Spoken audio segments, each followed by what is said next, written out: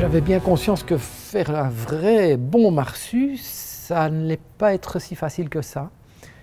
Et quand je m'y suis vraiment mis, j'ai vu que le vrai problème, c'était la tête. Parce que le corps, bon, c'est plutôt gibbon avec des pattes de chimpanzé, ça, ça va. Mais la tête, la tête, Franquin l'a conçue très humoristique. C'est un ovale horizontal. En, réalité, il n'y a aucun animal qui a une tête comme ça. Il a fallu trouver la résolution réaliste de, cette bestiole. Et, moi, je m'en suis tiré parce que j'ai découvert un crâne d'ours, en fait, qui était euh, un ovale comme ça. Et du coup, ça marchait très bien.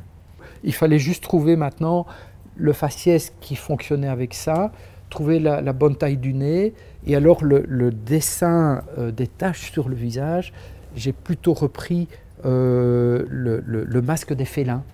Euh, parce qu'il y a des taches, il y, y, a tout ce jeu avec les sourcils et tout ça. J'ai réduit la taille des yeux, évidemment, parce que ce pas des yeux humoristiques, il fallait mettre des plus petits yeux. Enfin, tout ça, c'est une sorte de cuisine.